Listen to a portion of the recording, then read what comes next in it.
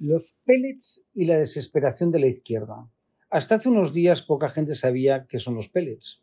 Había silencio en la izquierda mediática.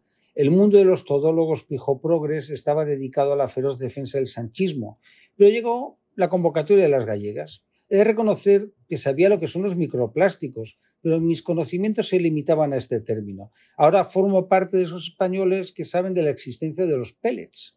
Por lo visto, es una denominación genérica utilizada para referirse a pequeñas porciones de material aglomerado o comprimido de diferentes materiales. En este caso utilizo Wikipedia, que es la Biblia de los todólogos pijoprogres. Por lo visto hay diversos tipos, pero no tengo mayor idea.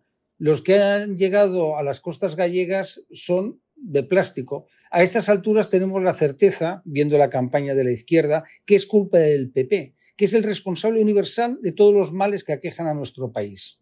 No he conseguido saber, a pesar de leer todo lo que se va publicando, por qué el gobierno gallego es responsable. Pero a la izquierda ya saben ustedes que no le importa la verdad.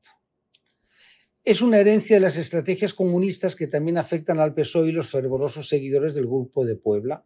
Durante bastantes días desconocimos que se había producido un vertido de esos pellets y que las mareas los habían llevado a las costas gallegas, así como a otras comunidades de la zona cantábrica.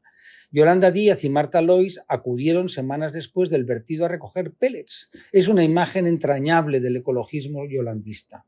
La izquierda socialista, comunista, antisistema y nacionalista espera pillar algún voto sacando a pasear el populismo más descarado.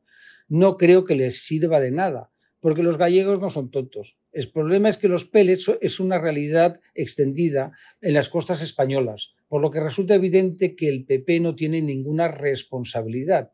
El otro día publicábamos las fotos de las obras de arte efímeras realizadas en las playas de Denia utilizando esas desagradables bolitas. En cualquier caso, lo sucedido en Galicia es una muestra de la desesperación de la izquierda ante su previsible fracaso electoral.